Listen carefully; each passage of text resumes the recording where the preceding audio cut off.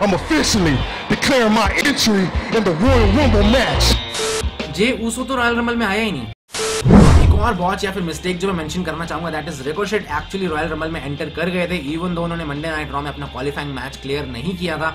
So I don't know how that happened but Ricochet join the Royal Rumble anyway उन्होंने एक match यहाँ पे announce किया था Bobby Lashley versus Matt Riddle for the United State championship however हमें ये match यहाँ पे देखने को मिलता ही नहीं है। डब्ल्यू डब्ल्यू ई कम्प्लीटली भूल गई थी इस मैच के बारे में बिकॉज़ ऐसा कुछ नहीं है कि इसके पीछे कोई हिडन रीजन था because Matt Riddle and Bobby Lashley both appear later tonight in the Royal Rumble match as well so the only explanation is कि भाई डब्ल्यू डब्ल्यू एक्चुअली में भूल गई ये मैच करना।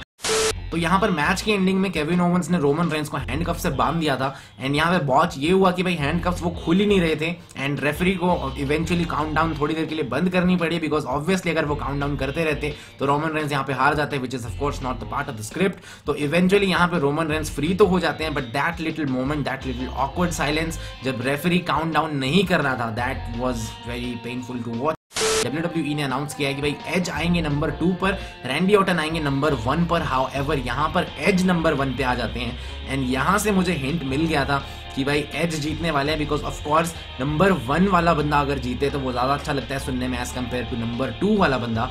और यहाँ पर जब ये छोटा सा स्विच किया एज को टू पे आना था बट एज यहाँ पे वन पर आए।